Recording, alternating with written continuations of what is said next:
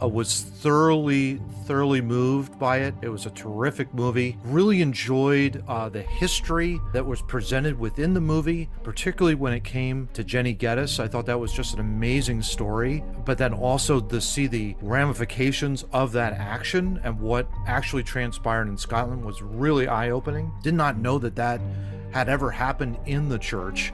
Another part of the film was definitely Voddie Baucham's talk on the difference between church and state. That seems to be getting a lot of play, particularly in the political realm. You hear that often a lot about, like, well, the state shouldn't influence the church and the church shouldn't influence the state and they should be separate spheres. But really, the reality is both spheres basically report into God. So having those two spheres I thought was really, really helpful and very impactful and a great explanation as to why people take the stands that they do.